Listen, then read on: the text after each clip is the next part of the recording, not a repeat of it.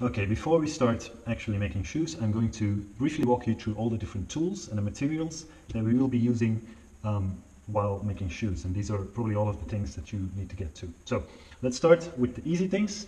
You're going to need a pencil and some sort of a marker. You're going to need some sort of ruler, and I like to use these ones because it's easy to mark seam allowance. Um, for sewing, this is also very useful. You're going to need some sort of a brush to apply your glue, but you can also just use like a skewer or a twig, or it doesn't really matter that much. You're going to need masking tape, uh, more of it than this too. Uh, we'll use it in the very first start.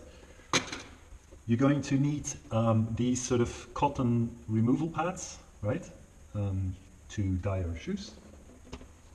These are all the things that are sort of like a school-like thing. Speaking of school, you're going to need a couple of heavy books, just to, when we glue the, the heels, we're going to put some heavy books in them. You're going to need some scissors.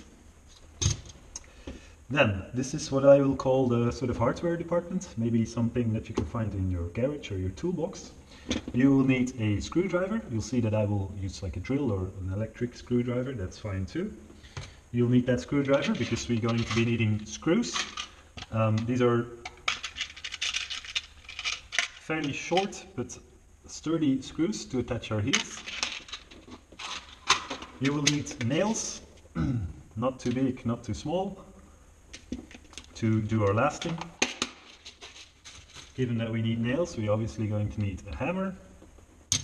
You're going to use um, this sort of uh, metal thread. This is the kind of thread that's used by people who do flower arranging.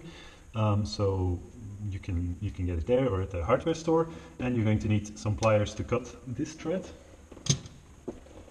um, you're going to need a box cutter pretty heavy one too or even better is something like this because we need to cut leather with it so um, I mean, it gets pretty hefty. Oh, this is also from the school department. You're gonna need some pattern paper, or you can just use any old paper to mark the different pattern parts for our shoes. Um, you're going to need some latex or these are actually vinyl gloves for when you dye your shoes because that thing really stains. Um, you don't need this, but you'll see that I use a branding iron, and if you want that, then you need one of these mini flamethrowers. um, you're going to need a zip or the eyelets, uh, basically the notions to complete your shoe, but this will depend a bit on the choices you make regarding to style. You're going to need needles to do your hand sewing. You're going to need thread. Um, this is regular strong Gutermann thread. And then this is um, like a thicker and waxed thread. And with this waxed thread, we sort of come in the era of things that are a little bit harder to get and for which you will have to uh, try to find a specialized supplier. So this thread is, um, is waxed in beeswax, right? It's, um, it's a black thread and it's strong and it's made for shoe lasting uh, for shoemaking. So it's the fact that it's waxed helped to keep the shoes uh, waterproof. Um, since we're in that department, this is the polish that I use. Um, it's not that important, any old shoe polish will do. This is the dye that I use. Um, this is black dye. I'm sure that there's other brands too, but this is the one that I've used. Then this is the glue right? This is in Dutch, but it basically says very sticky leather glue. So that's not very helpful. It's uh, sort of like a transparent glue, as you will see in the videos. And this is a different type of glue, which is even less recognizable.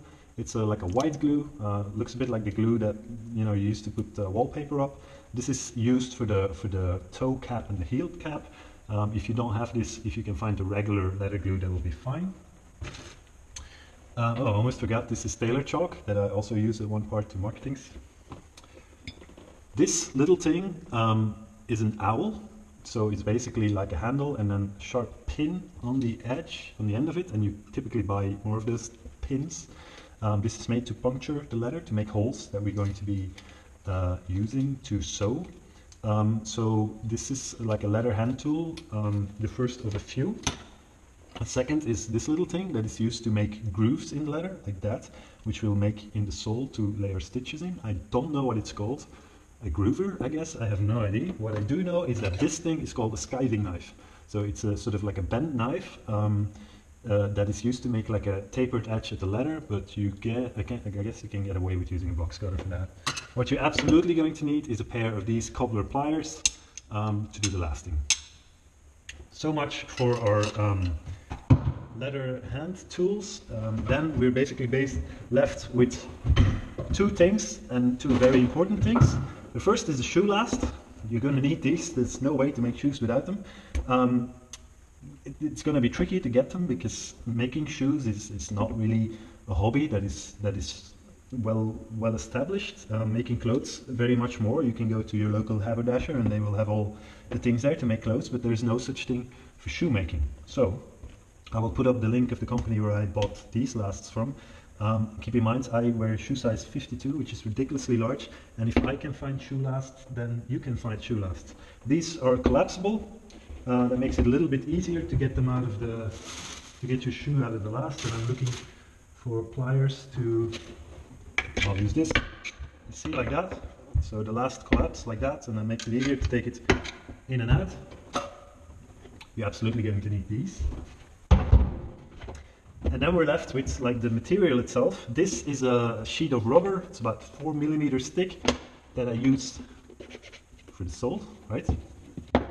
I bought this from a, a cobbler. Uh, they, they buy this to when people want a new rubber. So you just go there and, and ask to buy a sheet of this. They are typically uh, willing to do that.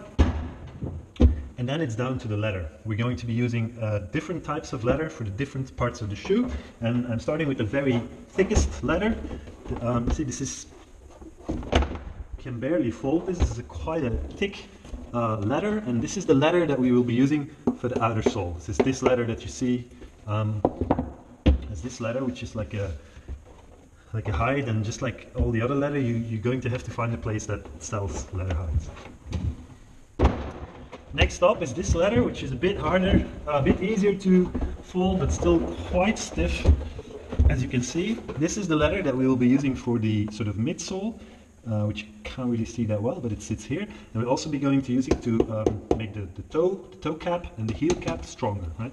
It's like a stiff leather, but not as thick as our sole leather. This leather is very thin, the thinnest leather that we will use, and this is our lining, right? So as you can see, it is black. See the lining of our shoe here is black. This is this leather. Um, and if you go to a leather store uh, or like a dealer, if you ask for lining, then they should give you something like this. They of course might have it in different colors. Sometimes it's perforated, uh, which helps with breathing, but uh, that's your choice. It's the lining leather. And then we're down to the leather of our uppers. And the uppers is the upper part of our shoe, the part that you see. So this part of the shoe, and as you can see, or I hope you can see, we have two different types here. And I've done that because I wanted to show you the two different ways that you can make leather, uh, that you can make your shoes. One is by buying something like this, right? This is thicker than our lining, but not as thick as our toe cap leather. It's like a like a good sort of like a hefty, like if you would make a bag out of this, it would be like a strong bag. Um, it's a vegetable tanned leather, which is not only better for the environment than the alternative, which is chromium tanned. Um, it also makes it a little bit easier to work with. And as you can see, it is made almost pristine white. Um, and the, the benefit of this is that when we buy this leather, we can dye it ourselves in any color that we like, right? which gives you some flexibility because often when you buy a hide, you have to buy an entire hide or sometimes half a hide.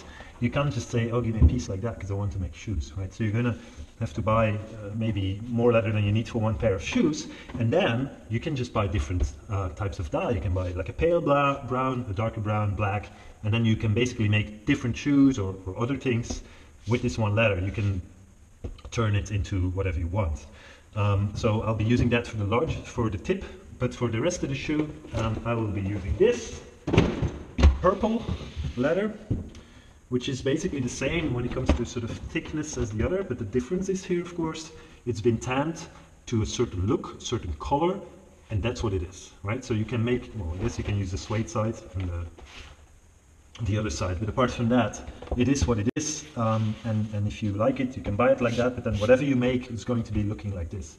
So you have a little bit of less flexibility. But then on the other hand, if you want to make alligator shoes, then you're going to have to buy alligator skin. You can't dye that, right?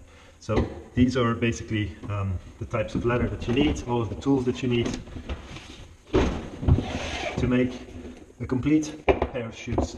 And that's what we're going to do now. So let's get started.